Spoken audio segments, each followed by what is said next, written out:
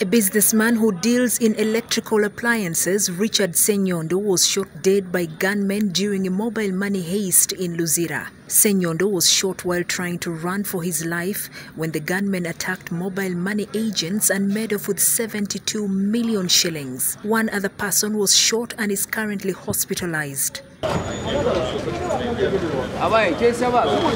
The attack took place yesterday evening at 8:30 p.m. During the attack, gunmen who wore masks put mobile money agents on gunpoint and took all the money they had.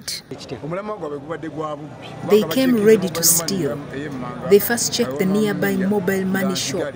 And when they saw it was locked, they came to the deceased shop and fired two bullets. He died instantly. atuna ne electronics so kati ndowooza awo This place has been safe. Nothing bad had happened, but these robbers ambushed us. Now, security wise, we are worried. Area residents managed to grab one of the gunmen while they tried to flee the scene and attacked him. He was later arrested by the police.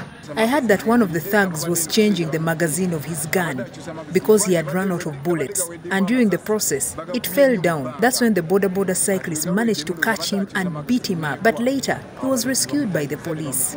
Area residents have appealed to the government to install more surveillance cameras on the roads in Luzira to help strengthen security in the area. We urge the government to add us more cameras on these roads and put surveillance person to monitor them at any hour.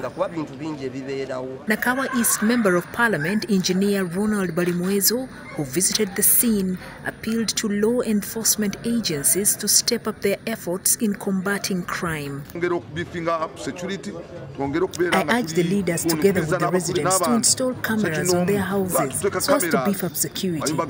Even alarms, they should put them. I would like to thank the police for responding quickly to calm the situation.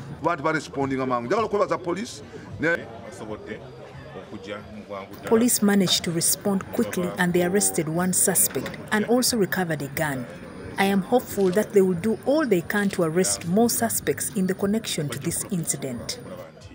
Kampala Metropolitan Police spokesperson Patrick Onyango confirmed the incident. It is alleged that Bahati Agre uh, and uh, Nyamakulu Ana uh, they are all mobile money operators. They were closing their shop, the mobile outlet, and that is when thugs struck. They attacked them, they started firing bullets in the air, and in the process, people got scared, people were panicking, and uh, Bahati Agre managed to escape, leaving behind Nyamakulu trapped inside the shop. The thugs managed to break the door and opened and entered inside and robbed 72 million shillings. Onyango says two suspects have been arrested in connection with the incident and that an AK-47 rifle was recovered by the police. And these two suspects are currently detained at Jinja Road Police Station. One of the suspects is called Guma Vincent.